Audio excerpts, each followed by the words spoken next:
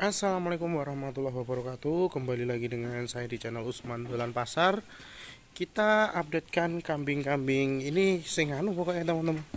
Sing siap breeding teman-teman. Tak ini kabeh sih Pakai ini pakai ini teman-teman Biar keluar semua kambingnya Kepalanya. Nih, ini kambing ini ada banyak teman-teman.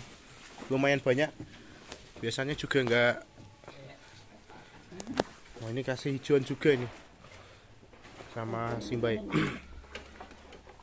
Kayak daun kaliandra teman-teman. Andra. Kaliandra. Nah ini kambing-kambingnya jenisnya Jawa Randu, yang ini Jawa biasa, ini semi PE ya teman-teman seperti ini. Semi bigon. Tapi juga kita nyebutnya masih Jawa Randu karena uh, masih postur ke Jawa Nah ini kalau dilihat mukanya kan sudah PE teman-teman. Cuma ini Jawa Randu maksudnya. Mukanya bulat ya. Ini ya baru habis karantina yang sebelah sini karantina semua ini teman-teman. Kambing karantina. Ini nanti kalau sudah sembuh itu harganya kisaran satu juta enam ratus lima puluh ribu rupiah teman-teman per ekornya. Ini sudah sembuh untuk secara nafsu makannya sudah sembuh semua. Udah bagus. Tinggal nerusin aja teman-teman ini ada yang sudah sepenuhnya sehat seperti ini. Nah ini. Sepenuhnya sehat ini. Ini saya ini PE teman-teman PE kelas pasar ini. Nah telinganya lembet ligan ini gede. Nih. Kambingnya habis teman-teman lebaran teman habis letis tinggal yang karantina ini. Karantina kayak gini oh, nanti. Cuma sebagai sampel aja teman-teman. Kira-kira gedenya sekian nanti kita carikan yang lebih sehat. Sebenarnya sudah sehat cuma tinggal nunggu aja. Ini sudah karantina sudah vaksin. Kan kalau ketika di karantina itu ada yang kambing itu setelah itu depro kesel mencret dan lain sebagainya biasa ya teman-teman. Ada yang gudikan. Nah itu nanti di vaksin dulu. Kita obati dulu sampai benar-benar sembuh baru kita jual lagi. Ini kan sudah oh, proses penyembuhan semua teman-teman. Nanti kalau sudah sembuh ya kayak gini harganya satu juta enam ratus lima puluh rata-rata teman-teman kepala hitam kepala apa nih gitu kepala merah bligon jawa randu dan makannya rakus-rakus teman-teman. Kalau kambing betina makannya lebih rakus daripada kambing jantan biasanya. Makannya lebih oke. Lebih menghabiskan makan kalau betina itu teman-teman. Kalau jantan memang makannya sedikit. Ini. Nanti kalau ada yang berminat silahkan. Tanya-tanya juga boleh mau main ke sini juga boleh kalau main ke sini mungkin ya satu atau dua minggu lagi kami eh, kadang sudah penuh lagi teman-teman. Ini kemarin habis lebaran juga kita habiskan. Kita kalau pas lebaran banyak kambing nanti kita tidak bisa badan nang ngomai tonggone teman-teman. Satu hari full di kandang nanti teman-teman. Gitu. Ini sudah mulai makan sore pakai hijauan kita juga pakai pakannya roti. Ini ada uh, ini nanti teman-teman. Daun pisang ini roti rotinya roti bukan roti yang butuh enggak tapi rotinya? Roti yang selepetan pinggir teman-teman. Yang sudah dipisahkan dari putihnya gitu. itu. Monggo silahkan teman-teman. Di situ juga kambing karantina. Dulu ada burnya tapi di ada orang ke sini langsung dibeli teman-teman.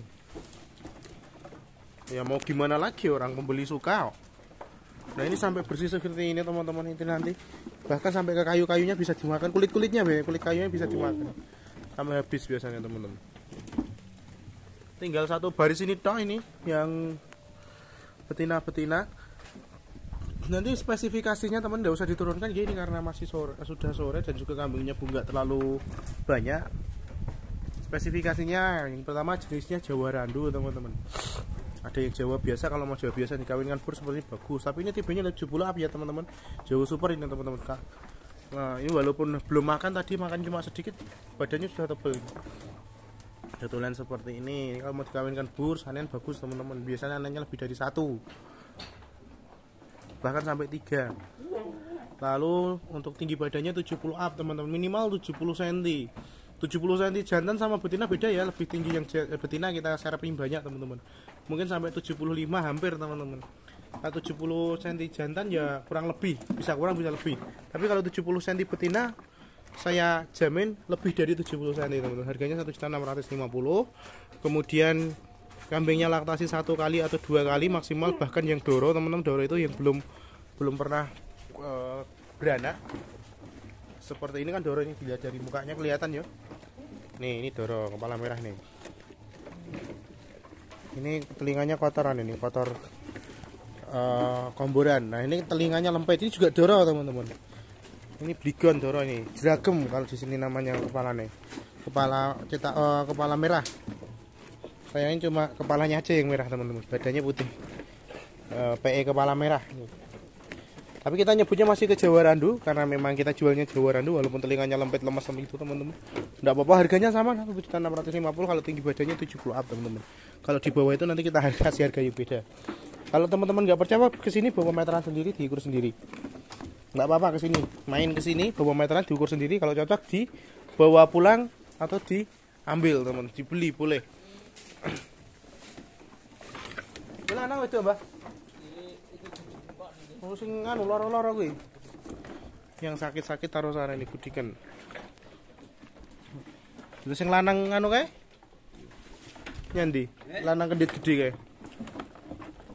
Kudikan? Heeh. Mati ngono kok. Kon beleh ra gelem biyen. Tak beleh ke. Dulu ada punya jantan satu kendit teman-teman gede cuma cuma milik sendiri nggak dijual mau dijual berapapun nggak dikasih dulu terus akhirnya dipelihara sampai mati. Udah tua juga teman-teman. Biasa rapopo gitu.